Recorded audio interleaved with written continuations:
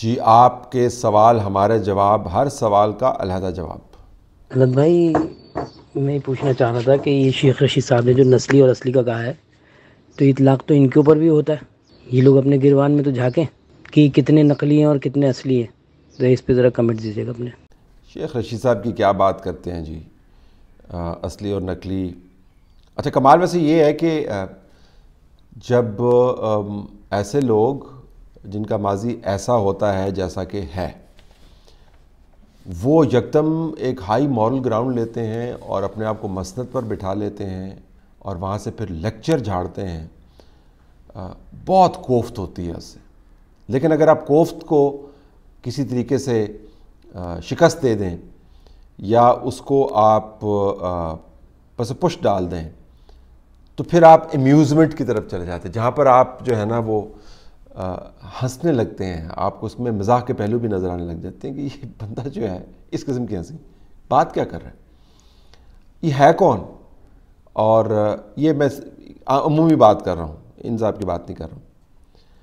लेकिन पाकिस्तान में ये वतीरा बन गया है कि संजीदगी के साथ 24 घंटे पहले आपने जितनी मर्ज़ी खुद कलाबाजियाँ लगाई हों, जब आपने ये बात करनी शुरू करनी है कि कलाबाजियाँ लगाना बुरी बात है तो फिर आप ऐसे बात करें कि आपने ज़िंदगी में कभी कलाबाजी लगाई नहीं।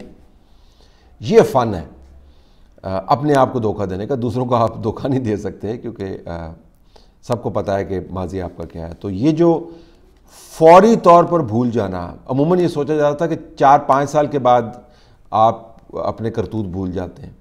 लेकिन कमाल बात यह है कि 24 से कम घंटे के अंदर आप अपने करतूत भूल कर ऐसे लेक्चर देते हैं और ऐसी प्रटेंशंस बनाते हैं कि जिस तरह आपने कभी ये बात की नहीं, आपसे कभी कुछ हुआ ही नहीं।